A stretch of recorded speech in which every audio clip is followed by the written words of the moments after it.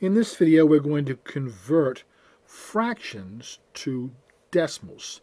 And the decimals are either going to be repeating decimals, some block of numbers, digits repeat over and over again, or it's going to terminate, which means eventually everything becomes zeros. Now, all these are rational numbers. Remember, a rational number is one which has an which can have an integer for a numerator or denominator. And to convert these fractions to decimals, we do a division problem. So now, some are going to repeat and some are going to terminate. How do I know the difference? There's a little trick if you want to find out if it's going to repeat or terminate. Look at the denominator. If the factors of that are 2's and or 5's only when the fraction is in simplest form, then it's going to terminate. So this one will terminate. Simplest form, yes. The 25 is 5 times 5. It's going to terminate. 7 has factors other than 5 and or 2. So this one's going to repeat. How many digits will repeat? Well, the most can repeat is one less than that number right there. Let's see what happens in this problem. 8 into 3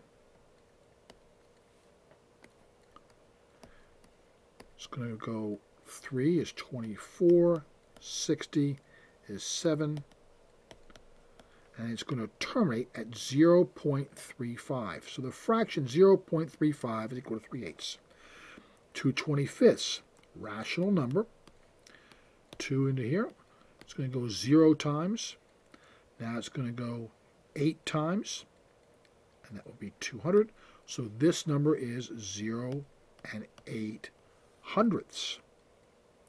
This one now, we can see it's going to repeat. And it's going to be no more than six digits if it's a fraction less than one. Let's see what happens. I'm going to erase these others here so we can get some space for ourselves. And we'll do 3 sevenths. So 7 is my denominator, and 3 is my numerator. This goes four times, that's 28. This goes two times, this is 14. This goes eight times, that's 56. This goes um,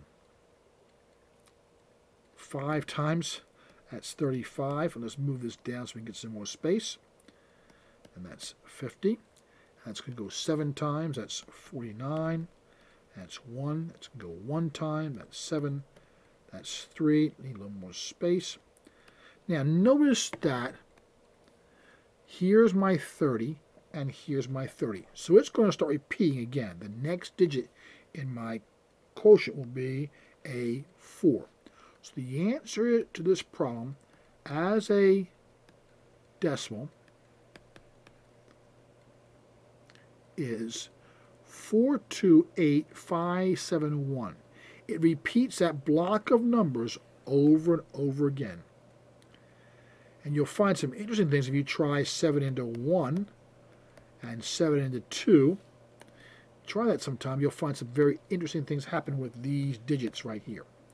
Hope it helps you in converting fractions into repeating, like this one, or terminating decimals. And as always, have a very happy day.